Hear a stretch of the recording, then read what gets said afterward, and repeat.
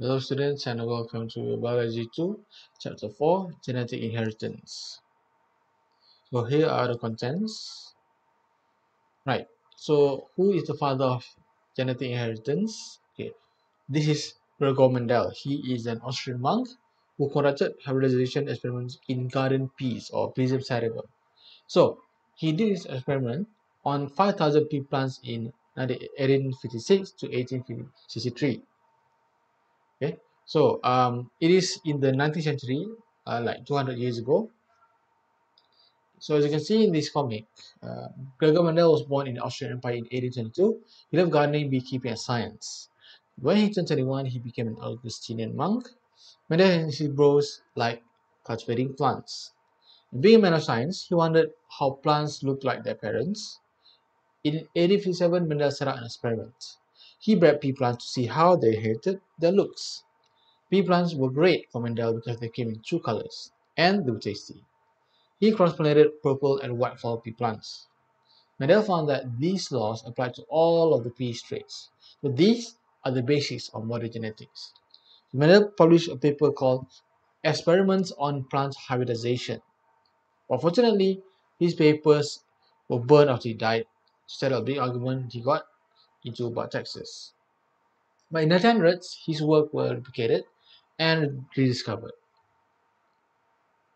So here is the location where he has done his experiments. It is a monastery where he worked in. So Mendel crossbred common pea plants and the results are not a blend. So they are either uh, white flowers or purple flowers. They are not intermediate. And over many generations, there are actually many, many traits that show up without any blending of the parent characteristics. So among all of these uh, characteristics, you can find the flower color. Flower color can only be shown in two forms, either purple or white. And not just the flower color, but also many, many other, many, many other characteristics. All can be found in one of the two forms. Okay, flower position as a terminal, stem length, long or short, seed shape, round or wrinkle, seed color, yellow, green, pod shape, inflorescence position and lastly pot color yellow or green. From this experiment, he induced two generalizations which later became the Mendel's principle of heredity or Mendelian inheritance. So generalizations, you can find law of oscillation, law of different assortment. So definition, alleles of a gene separate during gamete production. So segregation means separation. So you have two genes during the production, these two will separate. So what will separate is the gene that carries a certain uh, genetic information. So the thing is, um, any um, animal or any plants, um, they are created from sexual reproduction, they inherit two chromosomes, one from each parent. So like you, you have the gene from your father and your mother. So there you have two genes. But when you are creating your own gametes, these two genes are separated. So the second law of Mendel, the law of independent assortment. So if there is a lot of genes which are different, so the allele will assort independently of one another. So one gene's uh, trait or inheritance do not influence the inheritance of the other traits. In this example, you can see that this uh, A and B. A has two alleles, A1 and A, B, uh, A1 and B, A2. In this example, you can see that there is examples of A and B. These are two alleles. Okay, right. Um, this locus A has alleles A1 and A2. Locus B has B1 and B2. Okay, so there are actually four combinations that can happen: A1B1 and A2B2, or A1B2 and A2B1. What does this prove? It proves that these uh, combinations show you that the genes can assort independently. So, the first type of inheritance will be the monohybrid inheritance. So, it is involving one pair of contrasting characteristics. So, you have dominant and recessive. Dominant will always have its effect even in heterozygous condition. Meaning that if you have alleles which are one dominant, the other recessive, it can still produce that effect. Recessive can only produce effect when it is paired. okay, homozygous condition. You can see in this picture, white flowers versus red flowers, okay. And so white flower and red flowers, they, you know, they cross together, and the offspring that results will be the red flowers. What does this mean? It means that red color is the dominant gene. So, in in the third generation, after these red colors, red color flower, they cross together. What will happen is that you will find out that there will be three which is red and one which is white. So in the F2 generation, you can find out that there is a certain ratio 3 to 1 okay, of dominant to recessive phenotype. So you have three reds and one white. Okay. And also, in the second generation or F1, um, all of these red flowers are actually heterozygous. They all have one red gene and one white gene. So now we move to dihybrid inheritance. These are inheritance which are relating to two characteristics. Okay. So in this example, you can see Harry minus Ginny. Okay. Uh, so it's obvious what is this uh, uh, drawings related to. You know, it's uh, it's kind of inspired by Harry Potter. Okay. So um, Harry will have green eyes and black hair, and Ginny will have red hair and brown eyes. So when they are married together, how many offspring that they will have and what are the characteristics? So if you have, um, you know, look at Harry, right? Um, he has black hair, green eyes. These are two characteristics which are different. Okay, so the gametes will be either big B, uh, big B small h or small b small h. Okay. What about Ginny? Okay, she has red hair and brown eyes. So her LS would be a small b big H or uh, no okay because because her hair is uh, red hair it is a recessive color so it is small b okay small b and then you have big H small h what will happen you will have a phenotype which is like this okay half of the um, offspring will have red hair and the other half will have black hair and it's possibly half of these black hairs would have brown eyes and the other half would have green eyes. What about the red one? Okay, the red would have also, half of them would have green eyes and the other half would have brown eyes. Okay, so that's the phenotypes.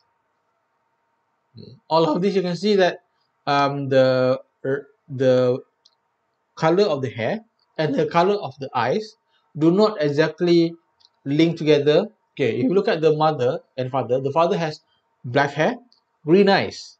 But you can also see in the offspring uh, brown eyes and black hair, meaning that the alleles for brown colored eyes and black colored hair do not link. They are independently assorted. Same goes with the red color. The mother has red colored hair and green colored eyes. But the offspring, only half of it, half of them will be exactly the same as the mom. Meaning that the allele for red colored hair and green colored eyes are independent. So here is the table. Now we move to multiple alleles. Multiple alleles means that there are three or more forms of a gene for a trait. So usually a population or species of organisms typically includes multiple alleles at each locus among various individuals. So how can you see this different variation between these people who have this certain allele?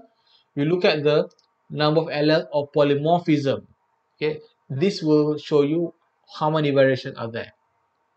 Or we can see how many types of heterozygotes in the population. So you can see here on the left, this is the case of the rabbit fur.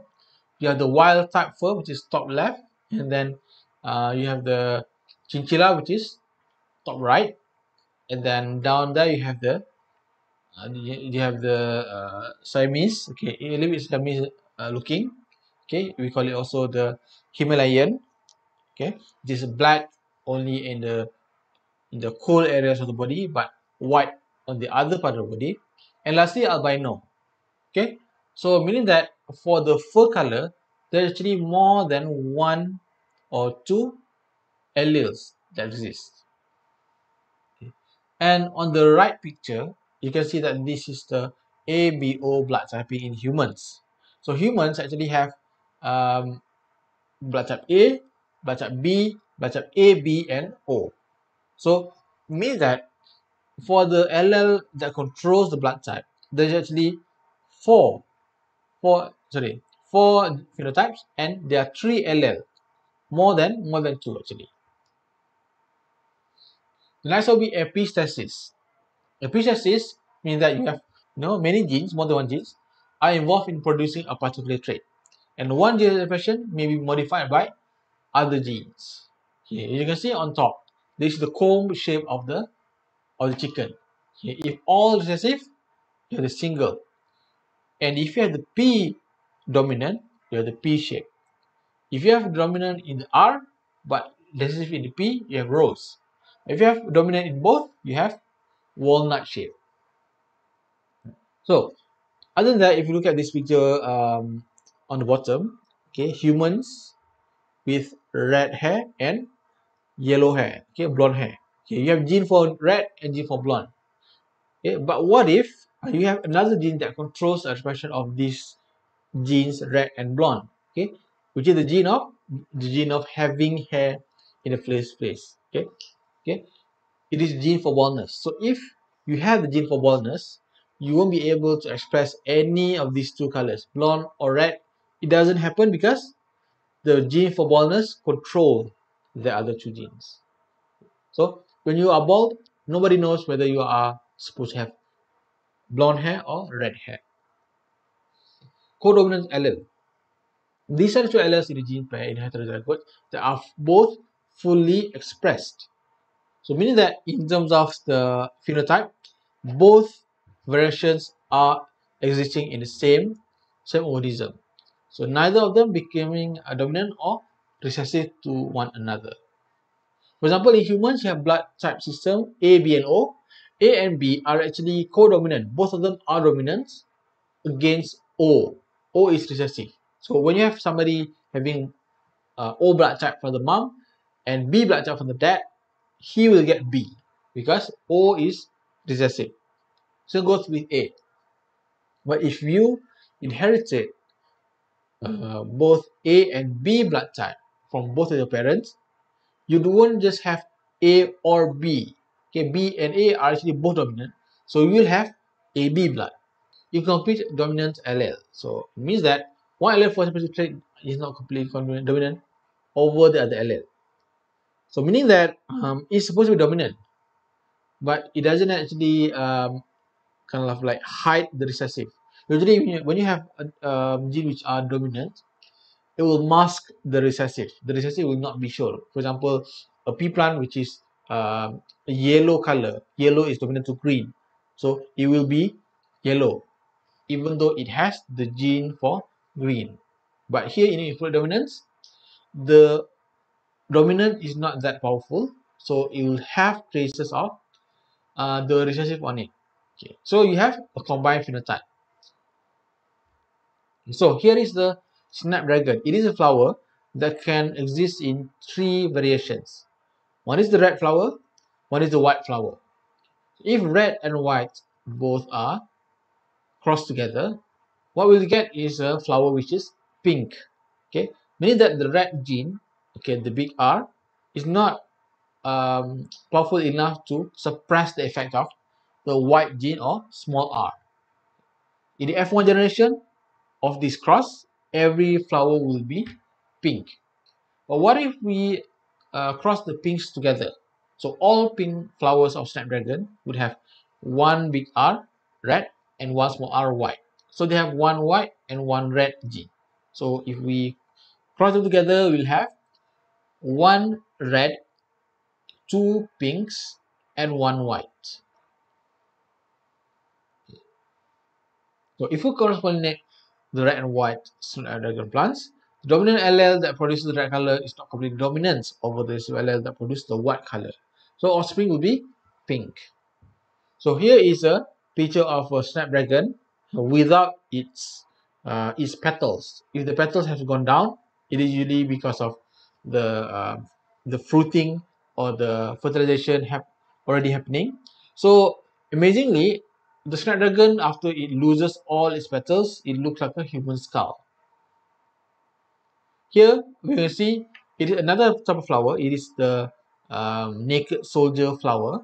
Okay, so it is actually an orchid. But the thing is, um, unlike other orchids, it has um, a long appendage that comes out of it that looks like they actually look like a person. Okay, so if you look at this picture right here, this is one example of the incomplete dominance. So you have the red horse and the white horse. When they um, when they cross, you have the horse which are not 100% red and not 100% white. Okay, so go with this bull and this uh, cow. Okay, uh, the brown and the white when they combine together, they will not have an offspring with this completely uh, blue. Uh, sorry, they will not have any offspring that is completely brown or completely white. So you need a combination white and brown. Now move to lethal genes. Lethal genes are genes or alleles that can cause death to a certain organism if they inherit it. So the gene that is involved is usually an essential gene and this gene is very important for life. If they are mutated, then will cause a lethal phenotype. If the mutation is caused by a dominant lethal gene, heterozygote will show the lethal phenotype and homozygote is impossible because one is enough to to create a very uh, serious impact, which is death. So, if the mutation is caused by a recessive lethal allele, means that the homozygote will have the lethal phenotype. Okay, meaning that if uh, organism only inherits one allele, that one allele will not kill the animal. But if they have two, then then they will die. So these lethal genes, they were found by Lucien Cuénot while studying the inheritance of coat color gene in mice. So usually, right, when you have a cross between dominant and recessive, usually in the F2 generation, you have three dominant and one recessive. Okay. First generation, all dominant. Second generation, three dominant, one recessive. So this is what we what he has uh, predicted. But somehow he always get 2 to 1 2 which is yellow and 1 which is black. Okay, sorry. 1 which is white. Okay three uh, it's not like 3 to 1 it's 2 to 1 and the yellow one usually they are heterozygotes because they have the gene for white white and yellow okay so now you have the mouse which are having yellow white and white white where are the yellow yellow where are they? Turns out that um, in 1910, 1910, William Ernest Crosser and C.C. Little, they found out that 35 of the offspring from the crosses died during embryonic development. Okay, so it means that there's something in the gene of the yellow coat. If they are doubled, it causes them to fail to implant in the uterine lining. So they are aborted before they are born. Okay, but if they only have one of these uh, Y allele, it will not have any effect. In humans, we have the disease called dwarfism, or in full name, achondroplasia dwarfism. It is caused by mutation in the fibroblast growth factor receptor 3, FGFR3. This has been linked to achondroplasia or dwarfism. And this gene, only one is needed to cause somebody to become a dwarf. Okay? So if somebody is a dwarf, usually they will have one allele which is normal, one allele which is recessive. Meaning that they can marry and they can have normal children, which is non-dwarf. But but if there is a child who actually inherited two of these mutations from father and mother, they will be severely affected by achondroplasia and they do not survive pregnancy. So the chances for getting a normal child will be 1 out of 4. And the chance to get the dwarf child it is 2 out of 4 or 50%. Okay. Right. So one of the most popular um, uh, achondroplasia dwarfism afflicted person, okay, or actors would be Kenny Baker, it's at R2D2 in Star Wars. What is a test cross? Okay, if you look at this picture right here, okay, you know that um, purple is dominant to white. White is usually double recessive, small p, small p. But for the purple one, you know, you know that there must be at least one dominant allele in there, big P. But what is its full? What is its full genotype? Is it big P or is it small p? What do you want to do is you cross it with a double recessive or hetero homozygous recessive. Small p, small p. Okay. So you will get one of the two combinations of results. If you get all purple color, okay, meaning that the original plant actually has big P, big P. It is homozygous recessive or double recessive. It will be homozygous dominant, which is both alleles dominant. But if the result turn up with half of it white and half of it purple, meaning that the original uh, purple flower actually has a recessive gene in it. Okay. Pedigree analysis. Pedigree is a diagram of family relationships. We use it to uh, represent people. Okay, uh, we use symbols and lines. Lines is for genetic relationships. So it is easier for us if you use the pedigree analysis to visualize families relationships, particularly large extended families and is often used to determine the mode of inheritance, dominant recessive, and uh, of or anything about genetic diseases. So in this um, pedigree, the round shape is the female, the square shape is the male. Horizontal lines, so for left to right, it is marriage, okay, mating. The vertical lines are for having children.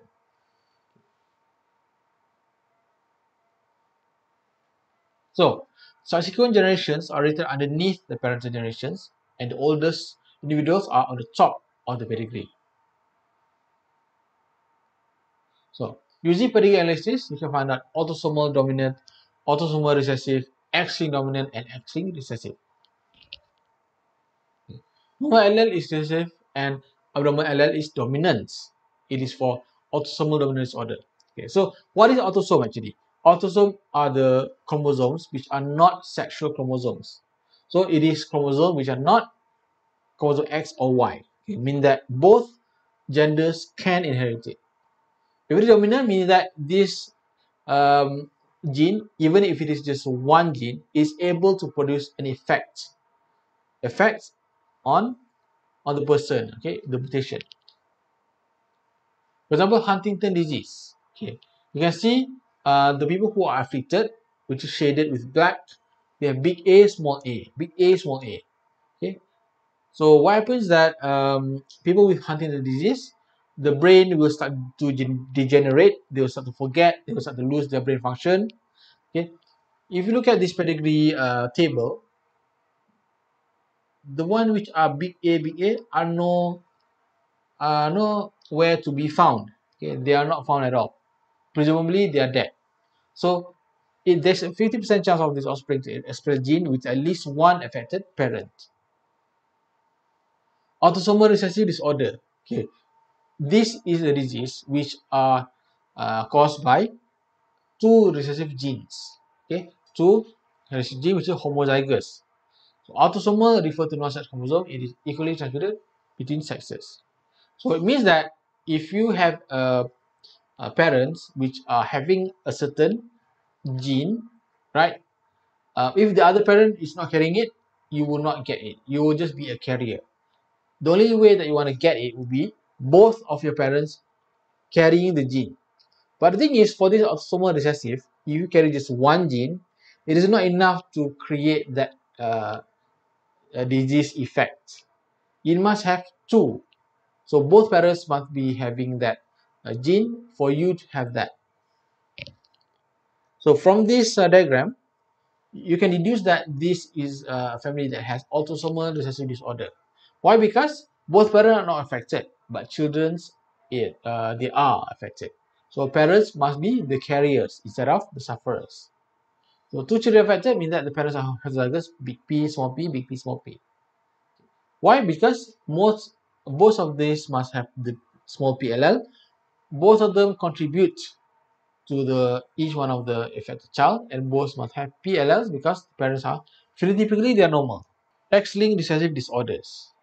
So few phenotypes determined by alleles on the differential region of X chromosome are related to sex determination.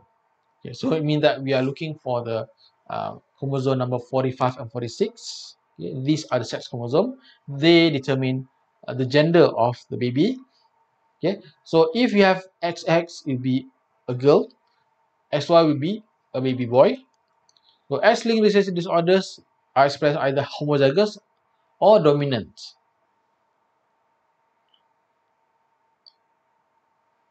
So, phenotype with X-linked recessive inheritance typically show the following patterns in pedigrees. Usually, there are more males than females. Why? Because females have two X chromosomes. Okay, um, males only have one, so just XY. If there is any uh, allele or any mutation that is carried by the X chromosome, it will be expressed. Okay, from this pedigree, you can see that this is the royal family of Europe.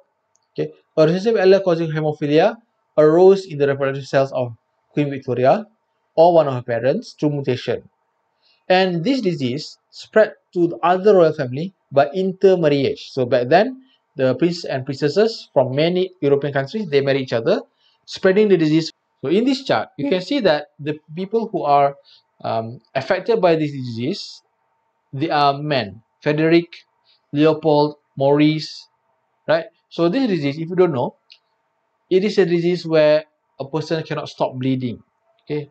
Because the blood clot is fail, okay? So uh, mean that they are quite fragile. If they get pricked once or they get cut once, it will not stop bleeding, okay? So other than that, if you can see in this uh, diagram, there are people who have a dot inside of their symbol. These are the carrier. Okay, even though they do not have the disease, they actually can pass it down to the to the offspring. So why is it? Because in their chromosomes for women, they have XX, two X's. Okay, if there is only one allele for hemophilia, it will not create the effect of hemophilia for the person. So um, the woman they do just carry the gene and they do not get afflicted by the gene. But for the males, now for the princess, they have XY. Since there is now no other access to um, overpower, you know, to dominate the uh, X that carry the disease, mean that you have XY, then the man will have the disease no matter what. X-linked dominant disorder. So in this case, same chromosome, the sex chromosome, it's just that they are the dominant. Only one is needed for the uh, disease to happen. So there's there's a little bit of um, odd uh, pattern here for X-linked dominant disorder because in here the male pass down their condition to all their daughters but none of their sons. And females who have the disease they will carry this disease both to the male and female. Okay, why? Because for men, you have X and Y, right? Okay, um, if your X has the you will give it to your daughter. Why not? Why, why not a son? Okay, why not? Because the father gives to the son Y, not X. So the X will be given to the daughter. So if there is any X-linked dominant disorder on X, all the daughters will have it. Okay. So we can look at this uh, first picture. X-linked dominant affected father. Okay, affected father will have the gene where there is a mutation. Okay, so um, combined with the mother genetics, so the mother has XX. Okay, so the daughter will have XX also, but one of the X from the mother, one of the X from the father. And unluckily, the father is affected. So the daughter would accept the gene from the father and from the mother and they also inherit the disease from the father okay. so in this family the guys okay the boys do not have any diseases at all because they get the X which are normal from the mother and Y which are normal from the father so in another case what if the mother is affected and not the father okay so the mother will give two X's okay have the X chromosome which are normal The other chromosomes which are not normal or affected. Okay, so there's actually 50-50 chance for any uh, daughter or son to get the disease. Okay, but for the father, okay, uh, he'll give X chromosome which are okay for the female, not for the girls, and Y chromosome which are okay to the to the males. So when the mother alone is the carrier, her children will inherit this order as follows: 50% of the son will have, and 50% is unaffected. Okay. Children of both genders have an even chance for receiving either of the mother's two chromosomes, which contain the defective gene in question. But when the father alone is carrier of the defective gene, uh, sorry about this disorder, he too will have the disease. So the children will get the disorder such as follows. All daughters will have it.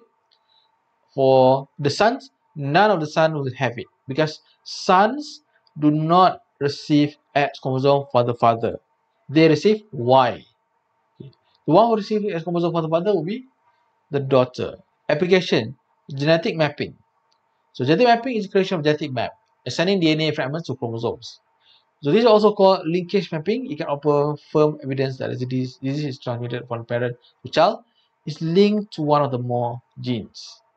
It also provides clues about which chromosome contains the gene and precisely where it lies in the chromosome.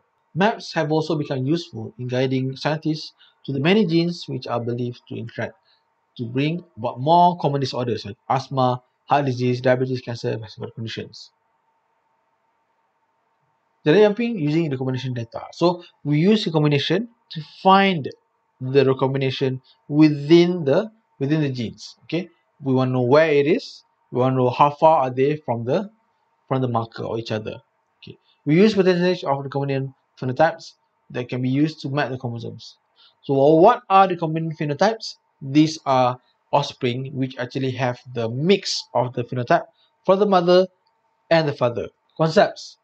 The farther away two genes are situated, the greater the chance of chromatid to break in between the genes between the crossover and rejoin with the chromatid with the homologous chromosome. So the crossover frequency is alpha percent of having the recombinant type progeny alpha distance between the two genes. So means that the more crossover frequency, the more recombinants, and also the more far away they are from each other. If you look at this uh, uh, picture on the top right, okay, many crossover. If there is many crossover, the gene A and B are far away enough. Because if they are far away enough, many crossover can happen okay, between A and B. But if they are super, super close, probably there will only be uh, a room for just one crossover. So the longer they are from each other, the farther away, the more the crossover will happen. Look at the picture below, uh, the picture which is uh, bottom right. Gene A and B are far apart, crossover will be more likely. But B and C, they are close together, okay, mean that there is less likely to have crossover.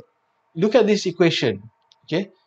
Percentage of crossing over, or COV, it is equal to total number of recombinant over total number of offspring times 100.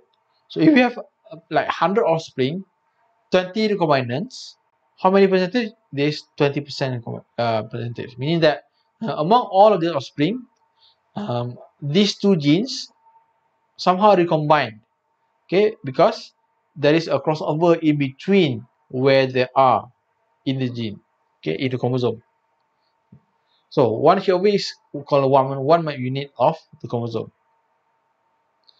For example, uh, green pods are dominant to yellow pods. Big G is dominant to small g. Tall plants, big T, are dominant to short plants, small t.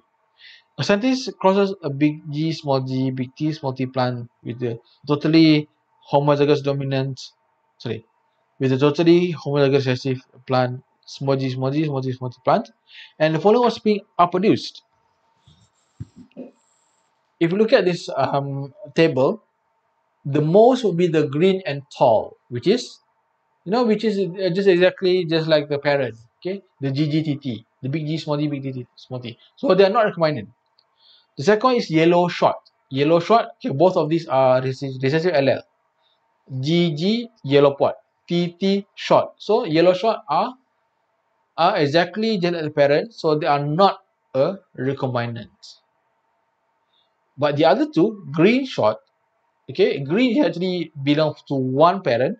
The short belongs to the other parent. So they are they are the recombinant okay same goes with the yellow and tall yellow is is recessive allele for the uh, the pea pods but tall will be the dominant gene for the pea pods what happens that uh, green short yellow and tall are both not exactly the parent.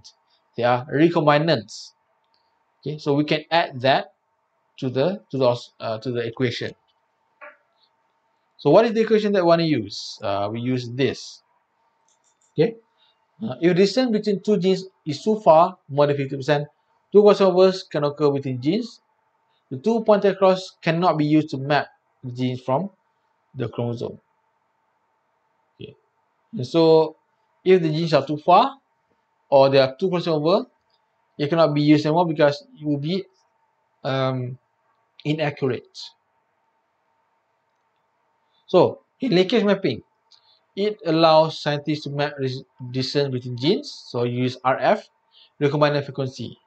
Given three genes A, B, and C, recombinant frequency of A and B is 13.2, BC 18.5, AC 6.4.